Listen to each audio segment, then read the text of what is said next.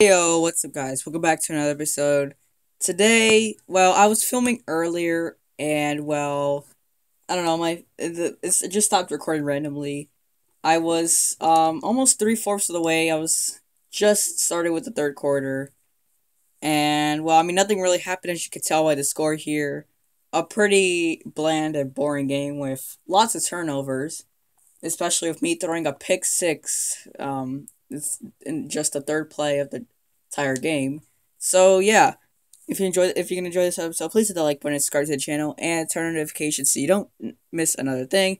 It is well appreciated. Let's try to get 100 subs in the next, I don't know, soon, before the end of the year. I mean, I think we can hit that easily.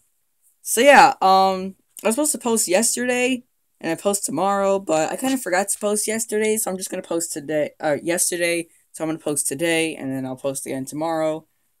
Um, so yeah, we're doing the main uh, main series. Jeez, the seasons mode with the Colts week two against the Rams. So yeah, as you can see, the Rams are driving down the field, and I think they just scored. Wow, I didn't even. I think it's Van Jefferson that Matthew Stafford hit, and just like that, in the first play, it's a touchdown. Oh boy, this is gonna be great. So yeah, I'm just gonna get right to it. Um, Cowboys Bucks, I got that correct. The Bucks won 31-29. Close game. Good job. This was a great game. Uh, next up, we have the Seahawks and Colts. This was a very one-sided game. Seahawks won uh, 28 to 16. It was, yeah, another correct for me. I got the Seahawks winning. And they won. Next up, we have the Jacksonville Jaguars and the Philadelphia. Jeez, the Jacksonville Jaguars and the Houston Texans. I thought the Jags were gonna win very barely, but of course that can't happen. They got absolutely destroyed, 37-21. This was a nasty game. Yeah, um, this is not to be a good season for anyone in the Jacksonville organization the Texans, if they play like this every week, this team can easily make a wild card spot. Heck, even they can even go for that fourth seed for the AFC South division round. Will it happen? Probably not though. They'll probably just they'll probably go six and eleven at this point. But yeah, good job Texans. You got one of very few wins. And of course, that means I got this prediction wrong. Two and one. Next up, we have a game which, well, could have really gone either way in my prediction. I said could go either way in my predictions, but I picked the Falcons only because I think they have a more experienced offense, and well, they played very poorly. Um, on both sides. I mean, both sides of the ball were pretty eh, but the Falcons was worst overall, and their offense was just horrific. This team could not click whatsoever. They lost thirty two to six the Eagles, I mean, yeah, they play good.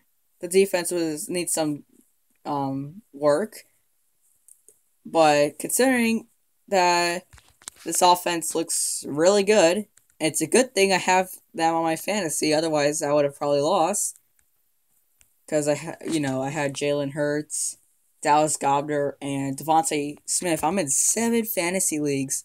I went five and two this week, and in my school, in my because I'm in high school. If you didn't know that, in my school we have a league, and yeah, I won, thanks to Jalen Hurts and to DeVonta Smith. So yeah, but I picked the Falcons to win. I really should have um checked my brain before I did that because that was not a good pick whatsoever. This team got blown out. This team needs to really. Ugh, this team's gonna come last place from the looks of it in this division. So that's two and two. That's not good, but it gets worse. Next up, we have the Chargers and the football team. This is a pretty good game too, very solid. Um, a young defense rising to the top against a young offense rising to the top. And ultimately, the Chargers came out on top. I had the Washington football team winning because, well, I thought they were a better team overall, at least on paper. But Ryan Fitzpatrick decided to get injured, and then things went south from there. So yeah, two and three, not good. Next up, we have the Steelers and Bills. Oh my. The Bills yikes. This was the Patriots' chance to one up on them, and of course they couldn't take it. I'll talk more about that later. But yikes. You lost to the Steelers 23 16.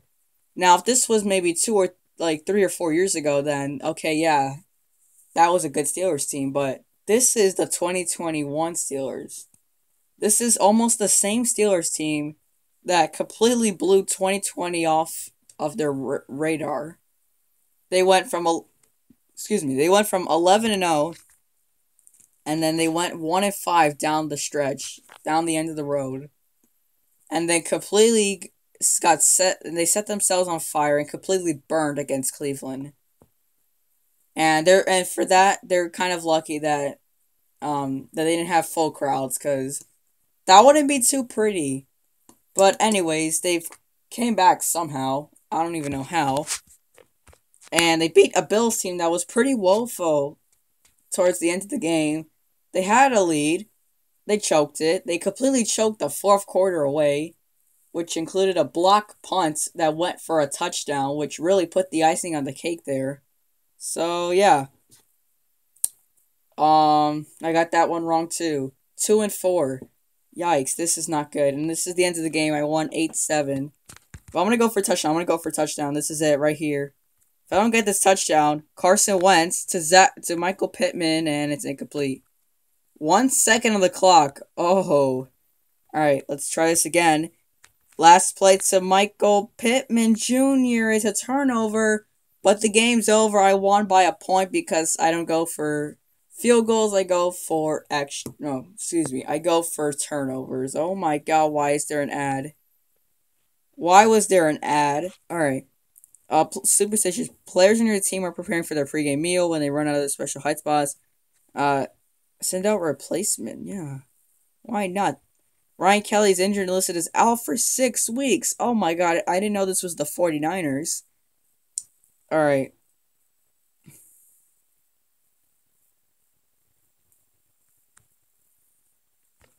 Dang.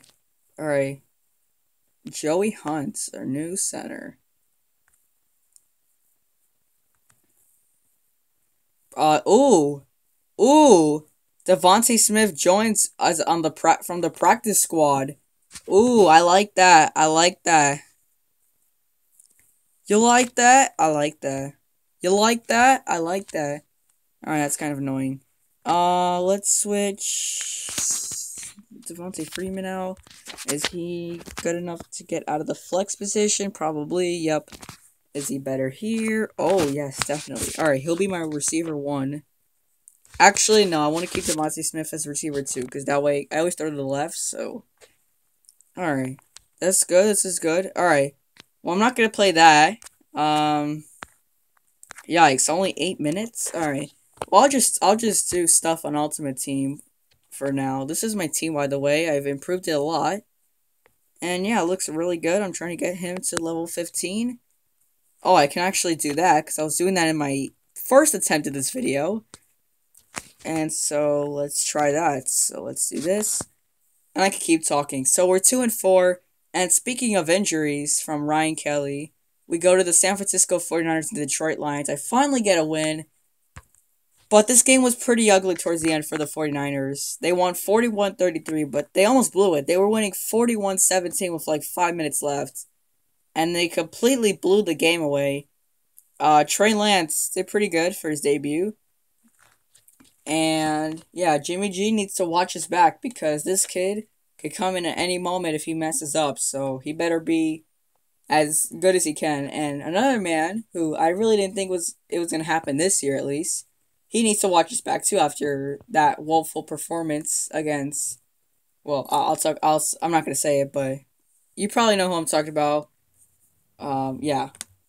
So, yeah, the 49ers, 41-33. This Lions team was uh, I don't know if I could if I could say they played good or played bad because in some parts of the game it looked like they were completely lost and didn't know what the heck they were doing. And in other parts, they looked like a Super Bowl contending team. Yeah, I don't know. This is the Detroit Lions. This, this reminds me of the Arizona Cardinals. an another very inconsistent team. So yeah. Anyways, that's three and four, right? Well, it doesn't matter. I'm going three and five because the Vikings and Bengals are next. The Bengals winning 27 to 24 in overtime. That was a great game. The Vikings, well, um, they need they should have won this game. They really should have. And yeah, I don't know. Burrow looked great. This team looks. The Bengals played pretty good. And that's all I'm gonna say. Let's play some arena while I talk. Let's lose some games in arena. So yeah, three and five. Next up, we have the Jets and the Panthers. Oh yes, the return of Robbie Anderson and Sam Darnold against their former team. This was, well, a pretty lopsided game until the end when the Jets almost made a miraculous comeback. But because it's the Jets, and speaking of the Jets, I'm playing against Pro Daddy 55, a Jets fan, or maybe he just liked the color, I guess. I don't know. And so, yeah, the Panthers won 19 14. A good win for them. Panthers was pretty good, and of course, they fed Christian McCaffrey like crazy because that's what they do best. And then for deep balls, of course, they would hit Robbie Anderson, which also helped me win one of my leagues. Thank you, Robbie. Because I had him as a flex. Next, we have, so that's four and five, right? Because I picked, did I, I hope I picked this team. Oh, yes. Okay, I did pick the Panthers to win. I'm correct. Alright. Next up, we have the Cardinals and Titans. This, I thought, would be the game of the week. This was my prediction for game of the week. I thought the Cardinals would absolutely, well, I mean, I thought both teams would absolutely put up 40 plus points like the Eagles and Falcons, but no. The Titans couldn't get working, and the Cardinals look like a, a Super Bowl contending team which, if they were consistent, they would. The problem is, they're not consistent. Like my throws there. Yikes. The Cardinals easily won 38 to 13. How much of that consistency can they keep? We'll find out. Hopefully, I hope they do win. I really do. So that's another correct prediction. Every and you know, people thought I was crazy for picking the Cardinals over the Titans you know what? It worked for me, so yeah. So I'm pretty sure that's five of five, right? One, two, three, four. Yep, five of five. Or five of ten. So five and five. Five of five record. Next up, we have the Browns and Chiefs. Another game which people call me crazy for picking the Browns over Kansas City. Which, if the Browns didn't choke, would have been, you know, a really good pick. But no, this is the Cleveland Browns, and despite the fact they had a really good year last year, they find a way to fumble things away. Also, I have to remember that this is week one, and the Browns don't know how to win on week one. They lost 33 29. They choked this game away. Yeah, I'm a bit upset at this team. I'm 5 and 6. And yeah, I don't know what else to say. Oh my gosh, it's fourth down. Next up, we have the Dolphins and the Patriots. Yeah, another game that made me pretty upset. I'm four and no, I'm five and seven. I had the Patriots winning. Um, the Dolphins 17-16. and well, I think we have a curse on us since Tom Brady left. We're known for fumbling the ball down by three or less in big in games that we should probably win. And in this case, that happened. Damien Harris was the victim the last time that I can remember, Cam Newton was our victim, but now it's Damien Harris. So, yeah, uh, he's an inconsistent running back. Hopefully, he gets better, and yeah, and Mac Jones, he had a pretty good day. He, if he could keep playing like that, he is definitely our future quarterback. And yeah, 17-16 Dolphins win. Yikes. Not good for us, the Patriots and not good for my uh, prediction record as we're I'm currently five and seven right now. That is not good. Next up, we have the Broncos and Giants. I return to more winning ways. The I mean, yeah, I knew the Broncos were gonna win from the get go, even if they had Drew Lock as their quarterback. Teddy Bridgewater played amazing. Actually, this entire team played pretty good. The Giants, well, they were the Giants. They played absolutely Um, not horrible, but they played pretty bad. And this 93 yard, Jesus Christ. So yeah, uh, six and seven. Maybe I could get a nine and seven record, eight and eight. I don't know. So yeah, the next game. Speaking of um, quarterbacks getting benched, I have the Green Bay Packers and the New Orleans Saints not played in New Orleans because of uh, Hurricane Ida. Instead, moved to Jacksonville. Oh man, the last time the Saints played an outdoor game and a home game outdoors was when Hurricane Katrina hit exactly 16 years ago from when Hurricane Ida hit. Yes, it was exactly, if I'm not mistaken, exactly six, six, yeah, 16 years. The day Hurricane Katrina hit New Orleans, 16 years later, Hurricane Ida hit.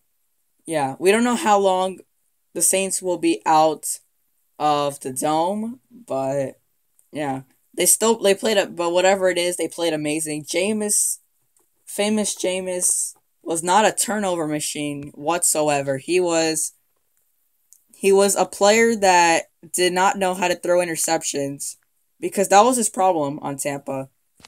He he was a very if if interceptions did not exist, this guy would have easily won MVP. He easily would have take he already would have won a Super Bowl, I think.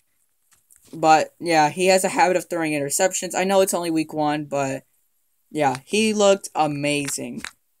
And as for the Packers, well, this should have been an easy win for them. And like the Bills, but at least the Bills didn't get destroyed. This team lost 38 to 3. One of the reasons why I lost in in two one of the reasons why one of my two teams actually lost in fantasy because I had Aaron Rodgers, Aaron Jones, and Mike Evans on the same team. I wanted to kill myself from that that was the worst. Oh, man, that may have been the worst performance I've seen from a team in my entire life. The defense couldn't stop anything. I mean, it's a defense. You can't help it. And I don't know why I just kicked the field goal. I, I thought it was an extra point. I'm not even paying attention. The offense was the worst thing to happen to this week.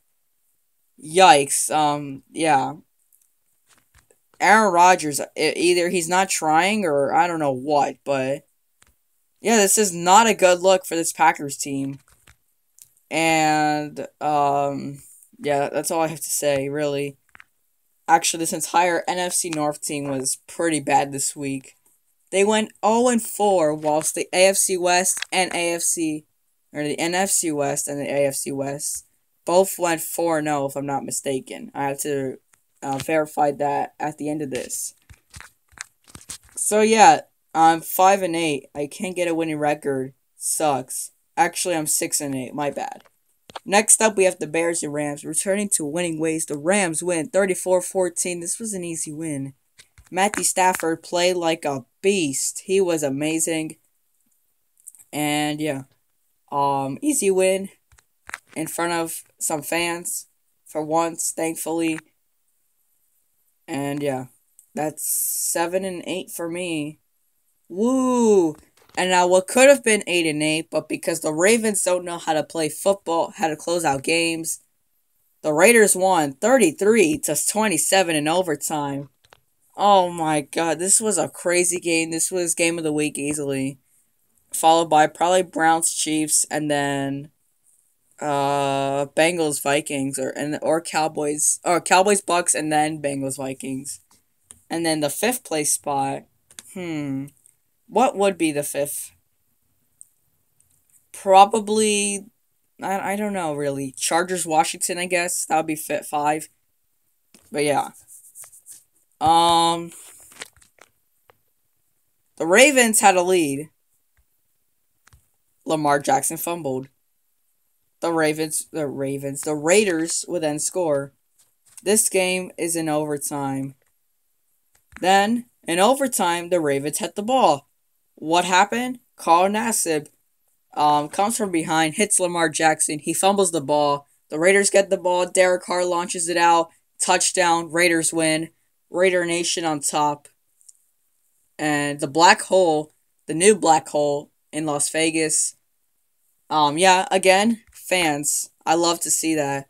And yeah, this team play they both teams play pretty good, but the Ravens just couldn't close out for their lives. And with that, my final record for the week, seven and nine. Uh I mean this I it's not as good as last year. Last year I believe I went nine and seven to start at week one. So yeah. Um in total, let's see.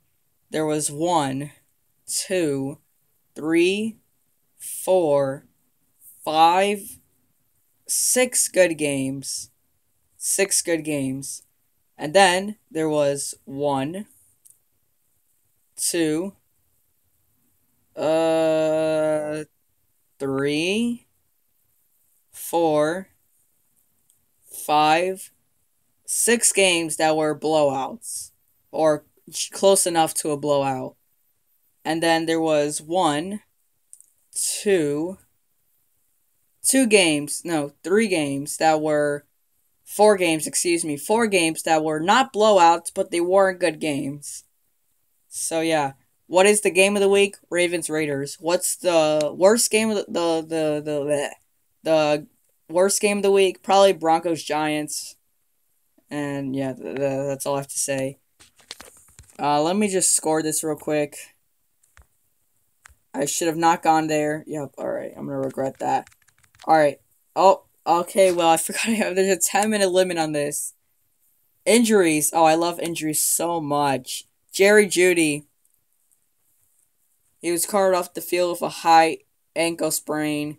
He's going to be out for uh, two to four weeks. At least four weeks. Even possibly the most six. I lost. Yay, I love losing. That's going to be it for that. Um, Ryan Fitzpatrick. Uh, they had an MRI, and we don't know how bad it is. The Niners, Raheem. Actually, I could look it up right now because today's Wednesday, so they should have it out. Uh, what is MRI?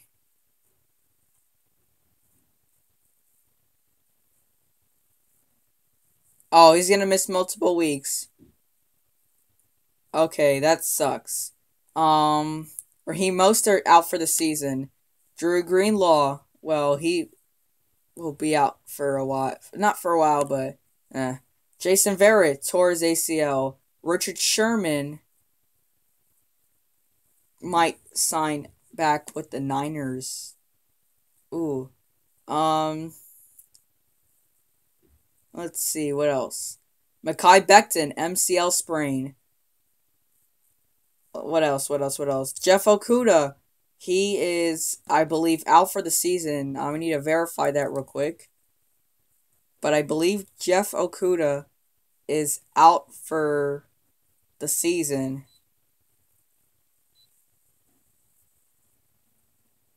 With an Achilles injury, right? Um, I don't know. I can't find anything, but he has an Achilles injury. He's gonna be out for a minimum of a while. Uh, what else? What else? What do we got? What do we got? What do we got? Nothing that's anything else, right? Marshall. Oh, Marshon Lattimore, thumb injury. He's gonna have surgery.